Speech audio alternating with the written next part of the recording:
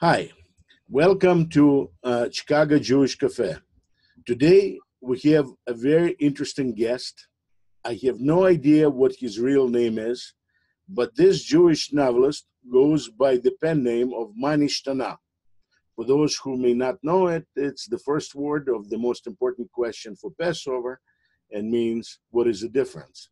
Manishtana, uh, he has written a very, very interesting book. I, I don't normally uh, uh, read novels, but I started and could not put it down. This is the book, which is actually doing quite well on Amazon. It's Ariel Samson, uh, Freelance Rabbi, and written by Manishtana. It's his novel. And uh, we're going to talk to him now and see uh, what kind of interesting things we're going to learn. Uh, my feeling is that any Jew should read this book because by reading this book, he's going to understand more about himself. Manishtana, how are you doing today? I'm doing fine. How are you? Not bad. Thank you very much. Uh, could you please tell us something about yourself? About myself. Um, African American Orthodox Jew, uh, born and raised Chabad. Um, both my parents also African American Jews. Um, on my mother's side, uh, my family has been here as African American Jews in America since the 1780s. Um, I'm a writer, a speaker on racial and religious identity and how that intersection manifests, particularly around American Judaism. Sounds very interesting. Uh, you said that on your mother's side, your family he has been Jewish since 70, 1780? Since the 1780s. What does it mean? How do you know that? Um, the same way any Jewish family knows that. I do not know uh, when my family became Jewish, but you know exactly the date. Well, Why? we know when they showed up here. Huh? Uh, we know when they showed up here. Beyond that, it's like any other Jewish story where there's no was. Was, was your mother's family at that time uh, uh, were slaves or free? Um, no, actually, uh, my mother's family came to America as free. Um, my great grandfather on my mother's mother's side was a slave and escaped the plantation. Uh, his owner was also Jewish. So, uh, where was it on uh, mainland uh, America or some island? This is uh, Virginia. Virginia. Yeah. So, uh, as I understand, there were about twenty-two thousand Jewish families that did have slaves. Um, by 1860, a quarter of the American Jewish South were slave owners. Mm-hmm. Uh, we'll touch on the subject because that subject is of interest to me uh, mm-hmm. For the reasons you'll understand. In any case, uh, as I said, uh, I read your book, very, very interesting. You have an amazing language and you touch on uh, topics that you know a person like me just would pass by without noticing but you actually make good points um, i asked you uh, in preparation for our uh, conversation to read maybe uh, a page or so from the book uh, uh, could you do it? I can yes. I'll pull up a little snippet here. Um, this is a bit of a conversation. It's really just a one-sided sort of story. Uh, when Ariel, the main character, is meeting Kalman for the first time. Kalman is um, his sort of best white Jewish Orthodox friend, um, and that's how their friendship is sort of what sets like one of the major points of the novel into play. So they first meet, you know, in, in Israel. That's like at a party, and so uh, Kalman comes over and sort of like introduces himself and uh, sort of just goes into this story that he like just burns up inside him. So I'm just gonna go right into it. So uh, yeah, I work for a driving school in Crown Heights. The messed up stuff I hear, like you know, just a couple of weeks ago, I'm driving this one dude, Pacific guy, driving him up to the Bronx for his road test, and he turns to me and he's like, is there a lot of blacks up here? And, and he says it in this sort of like annoyed voice, like he just walked into a pizzeria for a slice of pizza, but everyone there is a horse. And I, like, seriously, I get this question all the time. So I go, yeah, this is a mostly black neighborhood. And the guy snorts and he's like, are they anti Semites? I just roll my eyes at him and go, so do you like black people? And his face goes all pale, like I just insulted his mother or something. Anyway, he doesn't have an answer for like a while. So then I go, well, just so you know, they're not. But if you're going to be racist against them, why shouldn't they be racist against you? And this, at this, he kind of just waves his hand at me and says, all these Schwarzers, they're all lowlives, walking around with their pants around their butts, just thugs and drug dealers. And I kind of flip out on him and pull the car over to the curb. I'm like, are you serious? And I point to this one black guy leaning up against the wall and leaning up against the wall in a Spider-Man shirt and go, do you see his pants around his butt? He's a drug dealer. What has he ever done to you? So this smirk jerkwad just shrugs and says, he's from. Cham is course. All the Schwarzes are. And I, I just close my eyes for a second and I take a deep breath. And then I turn to him and say, so what do you do for a living? He's surprised and says, I run a light fixture company. So how sweaty are you when you come home? He looks a little confused, but says, not very when you're eating breakfast or lunch or dinner, whatever, are you especially sad? No. And right there, I've got him. So I say to him, Well, why not?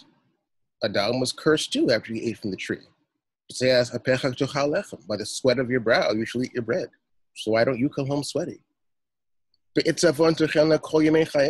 In suffering shall you eat the earth from the earth all the days of your life. So why aren't you sad when you're eating? So now this guy starts looking all uncomfortable and says, I don't understand. And I go, Well, you're saying it's okay for you to be a jerk to all black people because Ham was cursed, right? But you were cursed to sweat for your bread, and you don't. You were cursed to eat in suffering, but you don't. Do you believe you're obligated to sweat for your bread and eat in sour because you're cursed? No.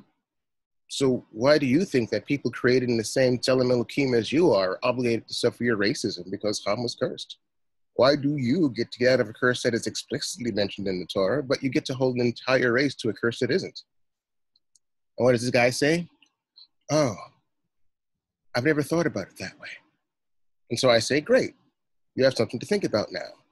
And then I point to the black dude in the Spider Man shirt again and say, Your road test examiner is waiting for you. Like, it really bothered me that he'd never even thought about it. I mean, the fact of human beings, not just Jews, human beings, being created in God's image. And it's right there before the Torah says anything about Jews or Judaism or religion or anything. Like, you can quote this Gemara and say where that maamar from the Rebbe, but you couldn't make it 27 lines into literally the first Jewish book to ever exist. Anyway, I just want to say it's really messed up that you have what you have to go through, and I'm really sorry for that. And that I really respect you for being a push through it all. Ariel Samson looked at this new stranger, amused and impressed. Ariel Samson, he introduced himself. Kalman Meltzer. They clinked bottles. Very good. Thank you. Uh, now, I thought actually that you were going to read a different passage that is 116, but the book is full of full of revelation. You know, if I uh, were to recommend this book to anybody, it would be uh, not a book written simply by uh, a Jew who is black, but a book about uh, uh, being a black Jew, but a book about me. Because when I come in contact with characters and situations in these books that you describe, that you talk about, I'm forced to think about my own idea of what makes me a Jew. What am I? You know, I was born in the Soviet Union, and in the Soviet Union, uh, uh, we had the idea there was no religion, there was no Torah law, there was nothing. You know, some there were some underground Jews, you know, Orthodox Jews, very few, uh, and they were underground. Now, and we recognize each other by sight. When um, uh, my daughter grew up a little bit, and uh, I told her once, oh, this guy does not look like a Jew. See, because we recognize other Jews by sight. There is a difference between a Jew, an Ukrainian, or Russian, or somebody else, or Mongol, or whatever, or black guy. So we normally put all of those faces outside of being black. When I came to the United States, and eventually, after a long time, I became um, uh, an observant Jew, a sort of observant, moderately observant, not the same way as you are. uh, at least I have accepted the idea of Jews and God. It was 1989. Uh, so I was at that time five years old. Uh, and, uh, uh, and my daughter just looked at me and just was, what do you mean? What does a, what does a Jew look like? And that was for the first time that I started to think about Jews differently, and I got deeper and deeper and deeper and deeper. And today, of course, I do not see Jews by sight, but see Jews by their uh, uh, uh, uh, uh def- by their fit in definition of what is a Jew from the point of view of the Jewish law, halacha. How do you define a Jew? I would define it the same way. Um, that's always an in- interesting question that I get. You don't look Jewish. And I say, uh, that's funny. I, I'm wearing a kippah on tzitzit. How do I not look Jewish? well, but even if you didn't, I have to say, in my book, even if you didn't, uh, if your mother or father, and there, there I disagree with the interpretation of uh, halacha by the Orthodox. Um, I consider that person to be 100% Jewish, providing that person says that he is a Jew. You know, confirms that he is a Jew. Now, uh, being a Jew, black Jew in the United States, I mean, being a Jew anywhere is not an easy form of human existence. I mean, being a Jew in the Soviet Union he had its own specificities uh, uh, uh, uh that may compete with any of your experience of being a black Jew. But let me ask you a question. you were born a Jew, right? Mm-hmm.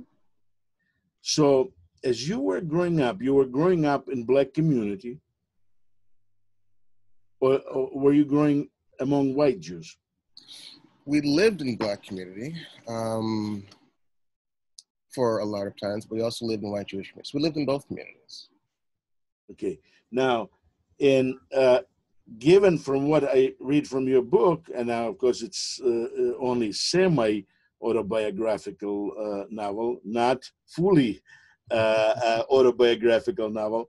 So, uh, what did you feel? I mean, did, as you were growing up, your parents told you you're a Jew, right? By the way, you use adjective Jewish all the time, where I would use a Jew. Mm-hmm. Why is that? Um,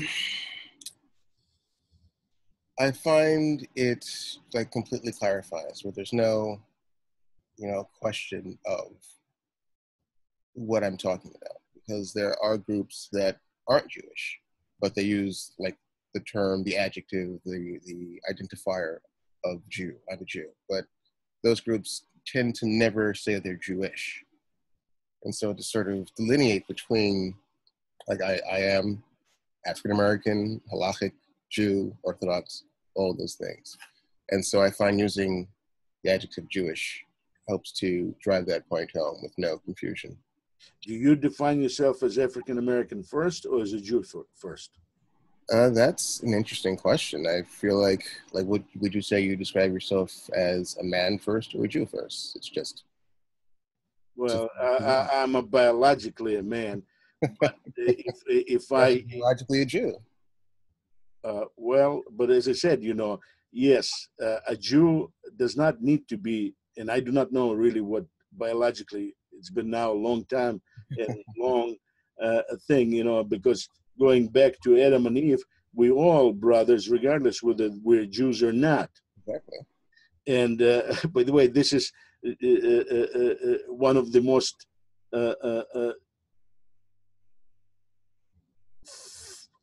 Jews were made fun of this statement by Greeks and Romans all throughout history during that period. Because for them, it was obvious how crazy Jews had to be to even think something like this.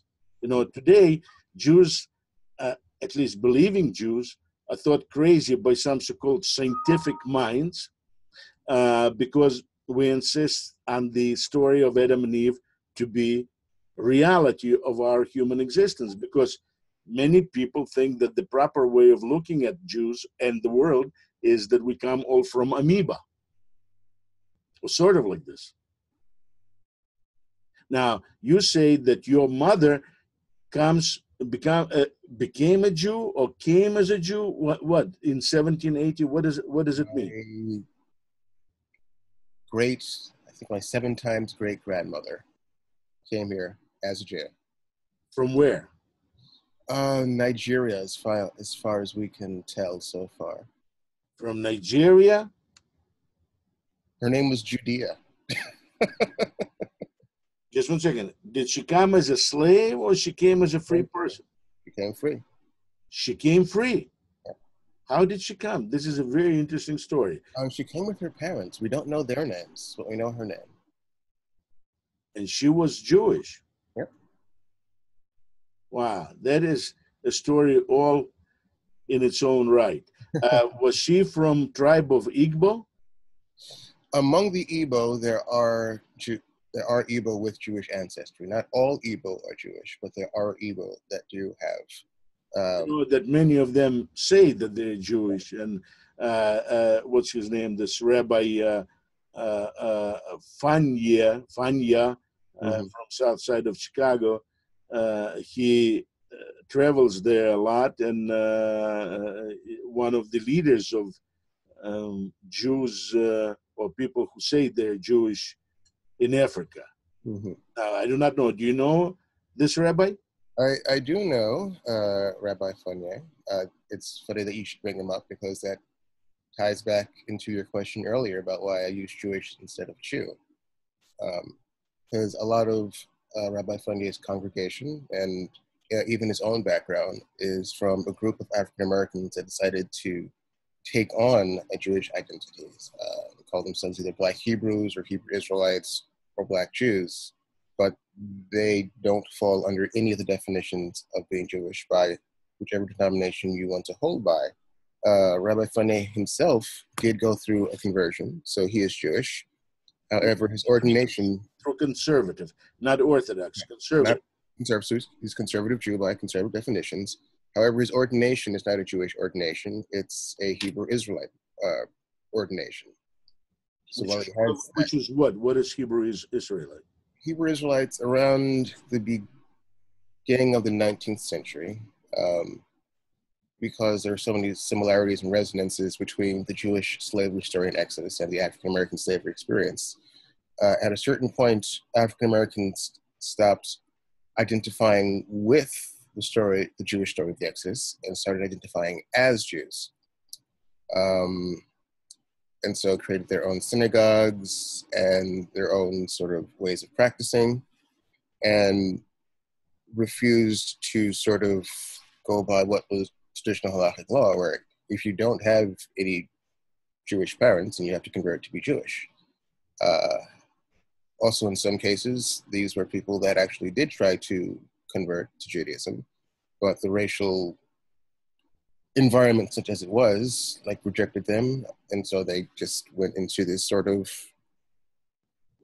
African nationalist version of Judaism, much like how the Nation of Islam isn't Islam. It's not one of the sects of Islam, and it's really like an African nationalist movement rejecting Christianity and picking up a different religion. So Hebrew Israelites are sort of the Jewish branch of that movement, and the Nation of Islam is like the Islamic kind of branch. Well, with, within my definition, those Hebrew Israelites would not be Jews. Exactly. So, but they do call themselves Jews sometimes, which is why I make sure to say Jewish. Christians, oh, Christians call themselves real Jews. It does not make them Jews. And Muslims call themselves really obedient Jews, and does not make them Jews. So it's the same sort of scenario and dynamic that happens there. Right, but uh, uh, you, from what I understand, although I do not know your first or last name, I do consider you Jew like me without any difference. So manishtana would be no. well, the reason why I have that is one, yes, it's, it's asking. I'm asking the question in my work: What makes this Jew so different from any other Jew? And the answer is yes, nothing. But the answer is also everything. Yes, we can go into the same Jewish space and have two completely Jewish experiences because of what our outward phenotypical appearances, our cultural experiences in our countries and here in this country. Like, you could probably walk into a corner store, buy what you want, and leave. I'd walk through the same corner store and I'd get followed around. That's nothing to do with me being Jewish. It does have something to do with me being black. And that does have an impact on my Jewish. Manishtana, could you please do me a favor? Sure. And uh, uh, read uh, uh, the passage from page 116. 116. What's happening here? Oh, this is a good one. I do like this. So here the narrator uh, starts off this chapter, the secret narrator, and uh, it's about Ariel going to the shul that he's. They're deciding whether or not they're going to hire him to be his rabbi, to be the rabbi. So I don't go to shuls anymore. Haven't in a very long while. Just got tired of all the where are you from? When did you convert? What brings you here? Near the end of when I still did, the one thing I hated even more than the pedophiles was people telling me that I had a chip on my shoulder. Like, that showed absolutely no grasp or appreciation for my experience of showing up in the first place at all. It was pretty much the same for Ariel. Take his morning, for example. Ariel lived on the border, on the border between the neighborhoods of Black, Flatbush, and Jewish, Midwood. It was almost a metaphor for his life. And this morning, like every Saturday morning, Ariel first had to walk through the stairs of his Afro Caribbean American neighbors as he walked through the black side of town. Those judgmental gazes at the confused black man they perceived to be, Ariel to be a sellout, rejecter of the grace of the good Lord Jesus, lackey of the white man. True, there were scattered nods of approval, an appreciative good morning from older black folks gratified to see a young man who still knew how to dress respectably.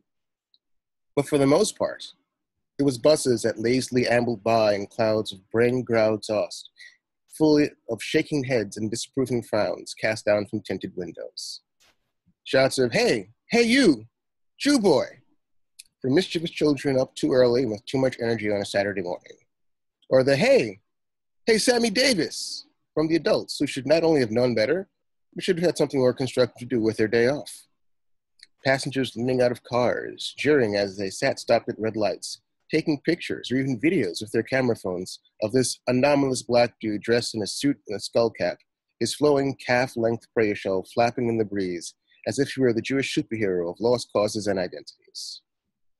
And then Ariel would cross into the Jewish part of town, and there he'd greet his fellow Jews with a Shabbat Shalom and be greeted with a blank stare of silence. A good Shabbos spat out so quickly it might have well been his knees, or, his favorite, a frozen smile and a thank you. He'd get scared at he'd get stared at by children and their parents from cross streets or have double takes taken after he passed them by. Without fail, there was always someone Ariel caught staring when he turned around, and he secretly relished watching them turn the most magnificent shades of red as they quickly whipped their heads round forward again. Not to mention the upturned noses from Jews old enough to have survived the Holocaust, yet somehow along the way forgot what that look felt like. And all that was before he'd even reached the synagogue threshold. The fact that Ariel didn't walk into shul literally ticking like a time bomb and exploding was nothing short of a sheer miracle.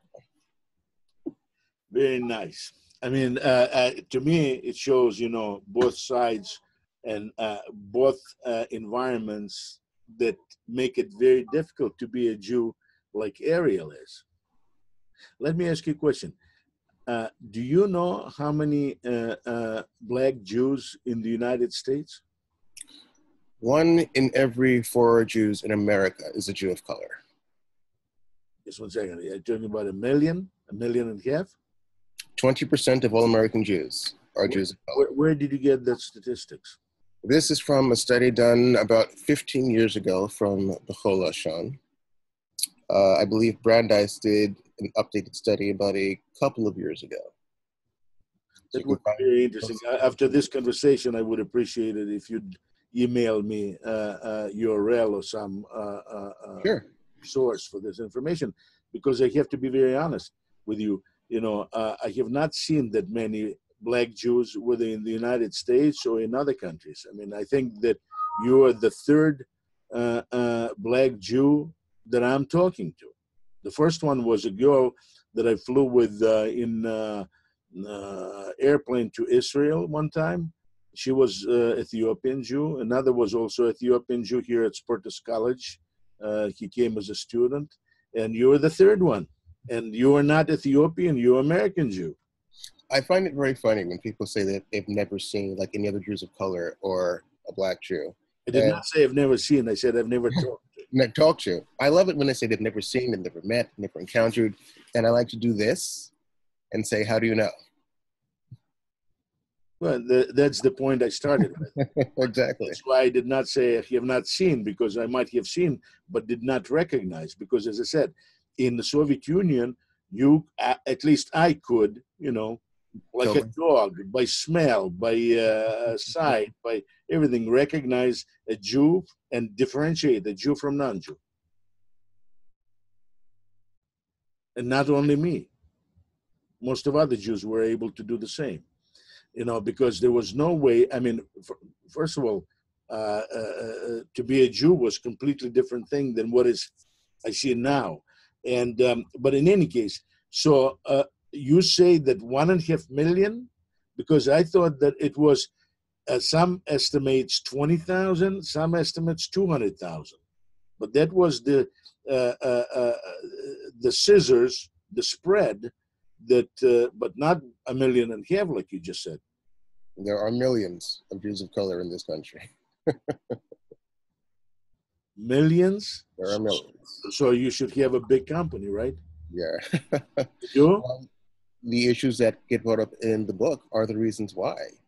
Um, there are very few. here, uh, here, as you walk from one part of town to another, uh, uh, you strike, or this aerial strikes uh, a figure of a very, very lonely Jew. I definitely think he feels that way sometimes. Not like he is surrounded by hundreds of thousands or millions of other Jews like him. um, because of like issues that I bring in the book. Um, his sister no longer practices. There are other people who uh, they're in Jewish spaces, and either the racism gets too much for them, or they're just constantly getting hurt or constantly getting questioned, and they decide it's easier to just be whatever I am. It's easier to be just black and not black and Jewish. It's easier to be just Asian, not Asian. So basically, you when when you say that one and a half million whatever black Jews, you are talking about just simply uh, Jews who happen to be black due to biological connection to their ancestors. That's what you mean? How do you mean? Well, it means like this: your uh, uh, this Ari- Ariel's sister, you know, she is no longer a Jew. She does not want anything to do with Jews. She became Christian. I think she converted here, not converted, but just just goes along with it. So you mean Jews like that, right? Yeah. I mean, that's among. There's there are Jews in literally every denomination that exists. Then they intermarry, and uh, so the their offsprings, you know, they have some uh, idea that their ancestors two, three generations back were Jews, and uh, or had something to do with Jews, and therefore they consider that they're Jews, right? Well, there are many different uh, pretty much the exact same definitions that happens with you know mainstream white Jews. Those same definitions exist within Jews of color. However, you want to define what the Jewish population of America is, that same definition would apply to Jews of color. Okay, So and, and if that is the case, let, let's say that I will accept your definition, which we can play with. I'm not sure that I would call them Jews. I would call them offsprings of Jews. Well, But uh, You have to cut down a lot of the American Jewish population too. Then uh, yes, possible. Yeah. uh, it, it depends how far they are separated from other Jews, and uh, you're right. You know, because there could be other problems with the uh, with being an offspring. But uh, where this one and a half million black Jews, or just Jews you count as black Jews, well, Jews of color in general. That includes like Asian, Hispanic, Indian. Oh no, no, no, no, no. Let, let's stay with black Jews. You know, let's not uh, uh, uh, allow ourselves go on tangent like this. So Not- that's little. That's a smaller percentage of the twenty percentage. That might be around. I believe Brandeis has it at maybe four or eight percent. Four or eight percent. Yes. Well, four or eight percent would then make it uh, three to five hundred thousand. Three hundred thousand to four hundred thousand. But even at that number, where did they come from? Um, all kinds of origins. Uh, there are people who converted. There are people who get adopted into. conversion i mean conversion is not as you yourself know very well it's not an easy and fast product. It's not a, process. It's not like becoming a christian or muslim. Uh, to be a jew is a very difficult uh, uh, uh, uh, process of becoming a jew. You know it's not like boom boom boom and that's it. It's like getting a master's degree. But uh, So we have conversions, we have adoptions, we have intermarriage, we have people who are born Jewish. All the entire gamut. Conversion adoption jews do not have adoption under halacha You have adopt. Well, so it's the same thing. You adopt and you convert the kid under halacha. So Okay. So in any case, so you're talking about conversion, right? uh, that's one aspect. It's the same makeup again as the mainstream American Jewish society. We have people Okay. In any case, uh, uh, I would appreciate it if you'd send it to me, you know, after this conversation, some Sure. courses, because I am interested. Why am I interested? Because there was, uh, as we just mentioned in the beginning of our conversation, um, from one source, I see that there was 22,000 uh, Jewish slave-owning families. Mhm. in the South. I do not know that number, 22,000. I don't know where that number is from from either, but You do know? I don't know where that number is from. Yeah. I do not know because it was given by the uh, uh, script writer for a show about uh, um, uh, situation with black slaves in Jewish families at the end of the Civil War. Yes. Uh, he mentions 22,000. I asked him, and he says 20,000, but need to get a little bit deeper. Uh, and uh, uh, as you know, under halacha, when um, a slave is purchased by a Jew for household needs, he becomes, in fact, partially a Jew. hmm That is, with the requirements of observing at least uh, uh, uh, uh, those uh, uh, uh, non-time bound commandments that would also be incumbent on women. like a Jewish woman. Yes. Now, and when he once becomes uh, a Jewish slave, household slave, he can no longer be uh, either uh, manumitted, freed, and be non-Jew, or sold to a non-Jew. Mhm. He's automatically under Jewish law, when he is manumitted, becomes a free Jew. That is the Jewish law. That is halacha. That is the halacha. However, that is not how things played out during the transatlantic slave trade. Uh, I'm not talking about slave trade. I'm talking about 1863. Because in 1863, when the slavery was abolished mhm. in the United States. My question is, what happened to those 22, at least 22,000 slaves? Well, first we have to go back to the slave trade because it was largely Christian dominated and Jews were an underclass. And so, in a vacuum, that would be the halacha. You you get a male slave, you uh, he gets milah, you dunk him in mikvah, same for the female slaves. But in most cases, Jews were sold slaves under conditions that they would not do that to their slaves.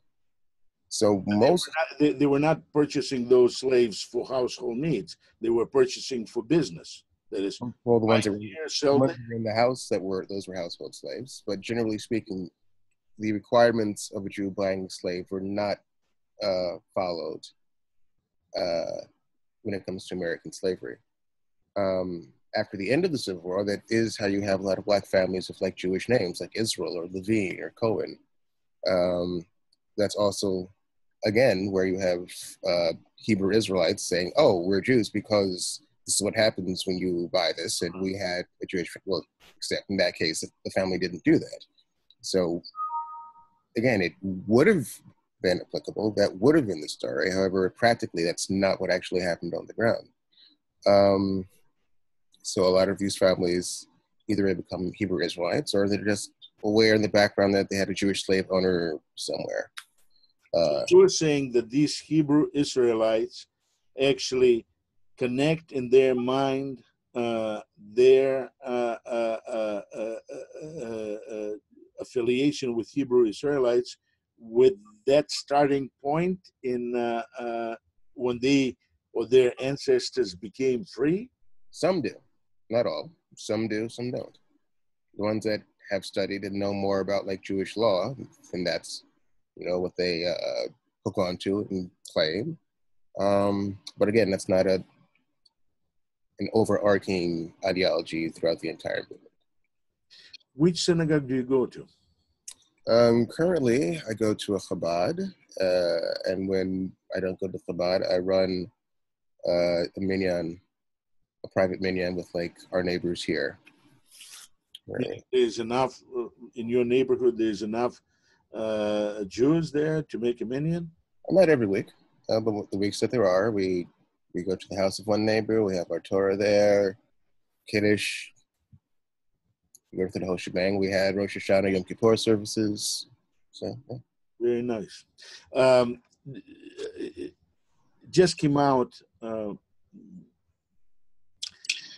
uh, results of a survey of uh, uh, dislike of Israel on the part of Black Americans. Mm-hmm. Something like less than one out of five of Black Americans thinks that Israel is the ally of the United States. Now, and from previous surveys, we know that the level of anti-Semitism in black community is two to three times higher than among whites. Now, you being part of the black community, that probably causes you engage in all kinds of conversations with your uh, uh, non-Jewish black neighbors.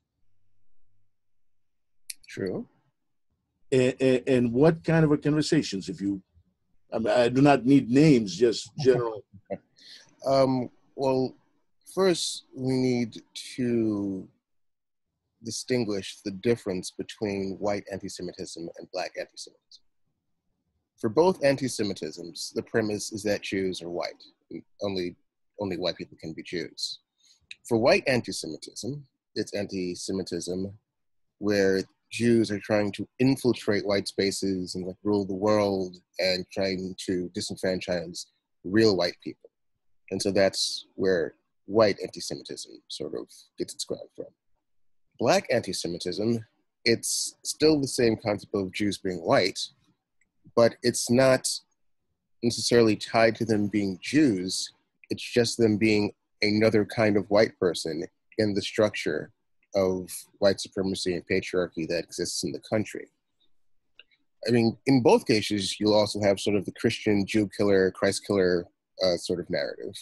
But what feels black anti-Semitism and white anti-Semitism are two different things. So it would make sense that anti-Semitism would be on the rise or be two or three times more in black communities, particularly in communities that a lot of real estate is owned by unfortunately slumlord orthodox jewish landlords so that's going to increase that sort of anti-semitism where it's not anti-semitism as in oh these jews because of their religion and how they practice and their history or their culture it's just oh this other white person i think this uh, uh, this uh, uh, slum landlord idea of a jew among blacks is uh, uh, uh, the other way, a product of black anti-Semitism. Because when black owns much worse slums, you do not have the same reaction on the part of other blacks. Mm, that's probably true. Yeah. And so I don't, I don't have any. Uh, with them being slumlords. No, no, I'm not saying it has to do with it. I'm saying that sort of adds to the narrative. I understand. When you, when you have like, how many stories do we see in the news of oh, these two or three brothers just got arrested for this, and they own all these buildings and these horrible conditions. And we see a lot of those stories, and there are a lot of stories that don't get to the news. I've been tenants of those kinds of landlords.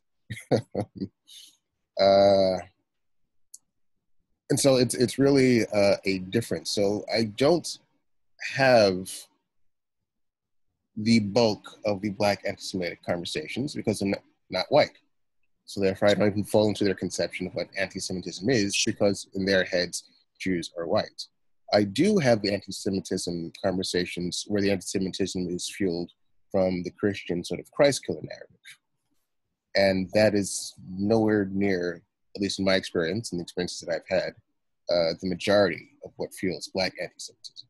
Just like the majority of what fuels white anti-Semitism is not that Christian Christ killer. It's we Jews will not replace this. You know, one world Zionist world order, the protocols of elders of Zion, uh, trying to like gain power. So even white anti-Semitism isn't Christian fueled.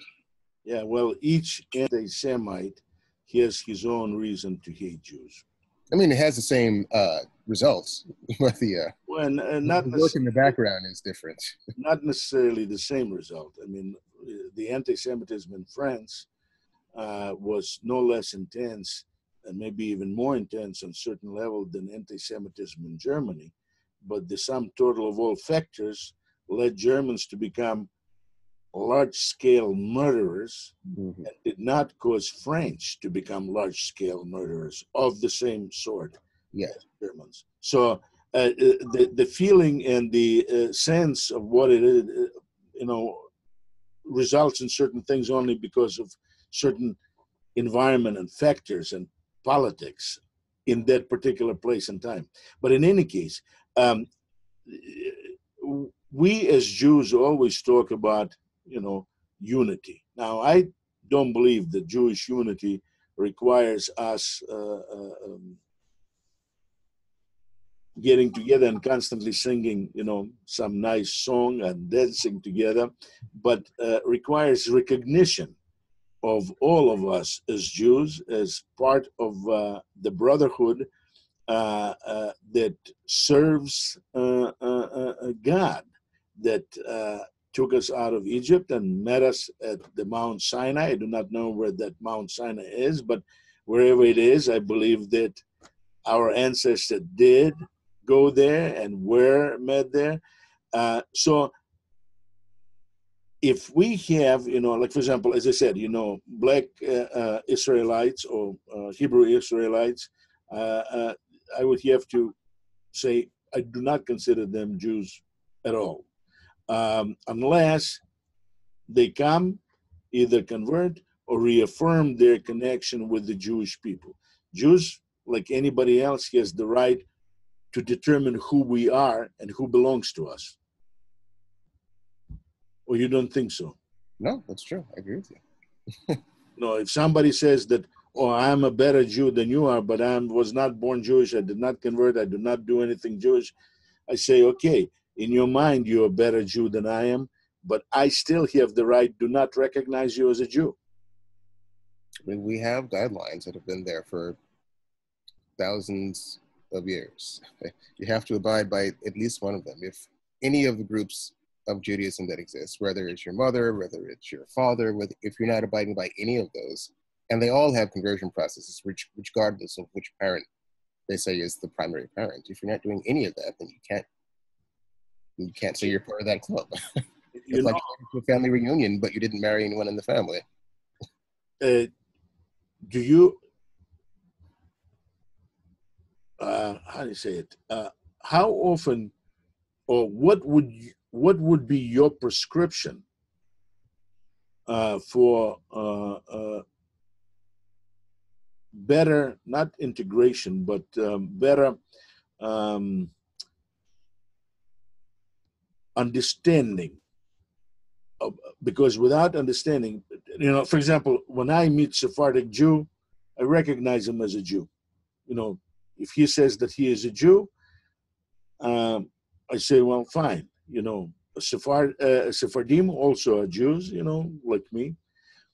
Uh, and I'd like uh, uh for uh, black Jews, I mean, in Israel, it's its own set of issues, mm. but black Jews in the United States to be recognized by uh, non-black Jews, whatever it is, you know, white Jews, whatever, as part of our Jewish community.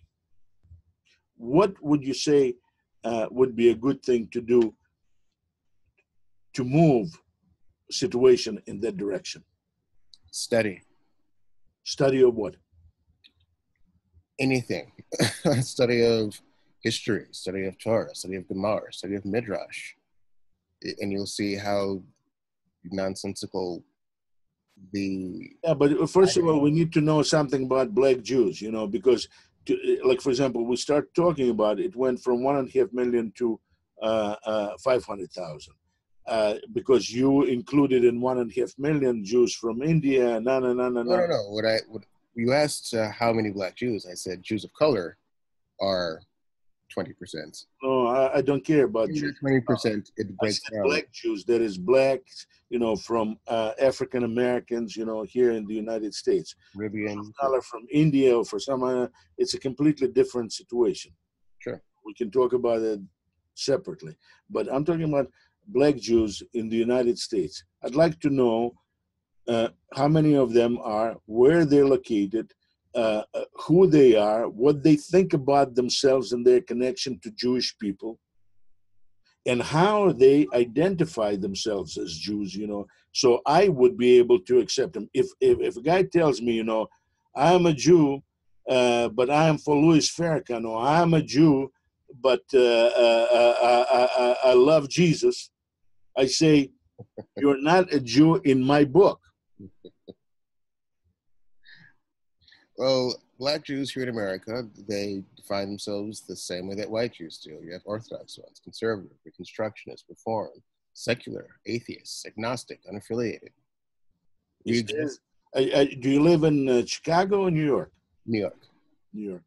Is there a Reform uh, uh, uh, uh synagogue where a majority of members are black Jews? Um, when it comes to racial diversity, you'll find more racial diversity in more liberal denominations. You'll find more black Jews and other Jews of color in reform spaces. I think more in reform spaces than conservative spaces and reconstruction spaces. There's no there's no reform uh, uh, uh, uh temple that is uh, largely majority black, right? I wouldn't know. I'd have to ask someone who praised reform. I can tell you how, demographics in Orthodox spaces, I can't really tell you specifics in non-Orthodox spaces. I know that B'nai Jeshurun has a large diverse population. Um, Kolot Chayeinu in Brooklyn, I think that might have a good amount. Um, but beyond those two, I can't I couldn't really tell you off the top. It would be interesting. Uh, I, I have in mind uh, one time to interview uh, uh Rabbi Funnye, mm-hmm. if I pronounce his name correctly. I do not know if I do. I think that's correct. um, uh, uh, because he has an interesting background and his relationship to Obama's family.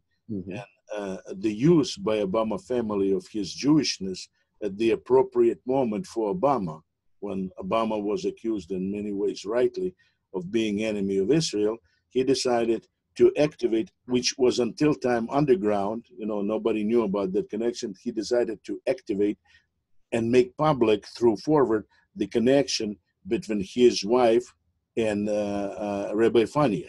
Mm-hmm. so, uh, but this Rabbi Funnye is also of interest to me because I have a good friend, Dominic Kim.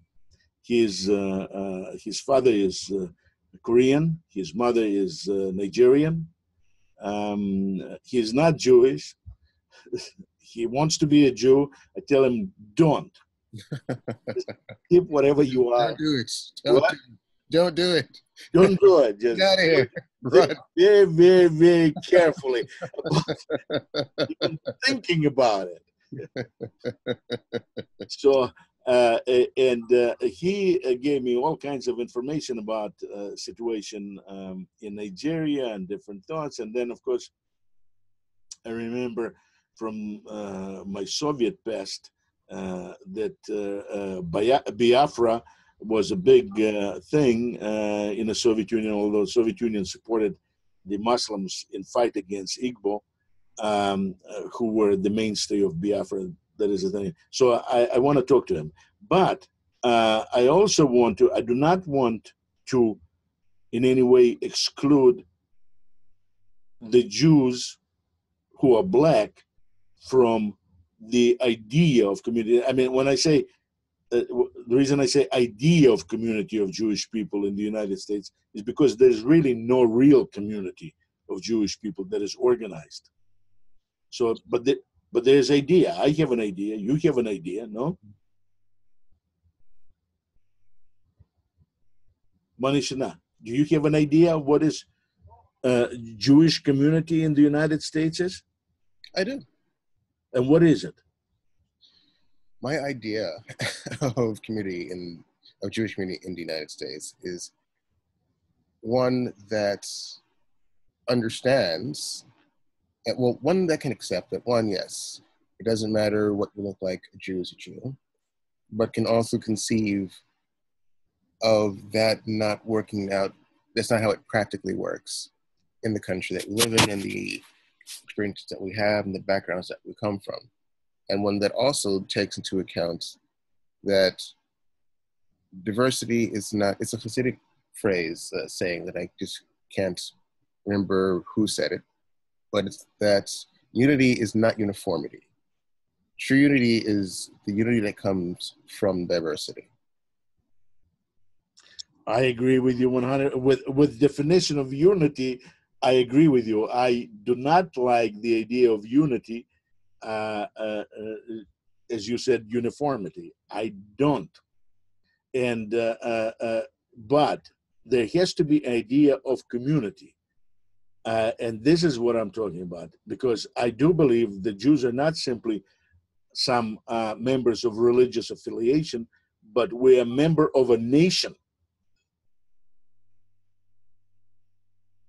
We're a member of a family. What is it? We're a member of a family. Yes, we are. Judaism, works, huh? Judaism works exactly like a family. People try to say, "Oh, it's a race, or it's religion, or it's a set of laws." It's it's all of those. It's a family, just like you have a family. Where sure, there's the main part of the family, and they're all biologically connected to each other. But there has to be limits. There, there has to. When it can marry in, and they are now part of the family because they married into the family, or they can adopt somebody, and now they're part of the family. So but not if they come and start raping a woman. Yeah, they just can't just walk into the house and say, I'm part of the family. Right. I, I, I am a Jew and that's it. You know, yeah. because I said so, I say no. Judaism works, it's a family. We're part of a family. Anyway, so we see we already got one point of agreement on which we can build.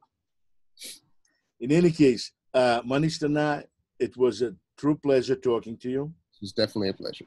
It was an experience and your book is great. As I said, you know, uh, one of the reasons that I don't uh, uh, read too many novels is because I don't care for dialogues and uh, things like this. But yours is actually very easy to read. It's very interesting. Thank you. And uh, I do recommend it. I mean, your book is doing well on Amazon, and uh, I hope it's going to do even better because I think all Jews, uh, white and black Jews in America, need to read this book in order to be able to understand themselves. That is, themselves, not others, but to understand oneself. In any case, nice talking to you. Talking to you. Shabbat Shalom. Shabbat Shalom, Lecha, and the very best. Nice talking to you. Hope to it's not going to be the last time. Definitely. Take it easy.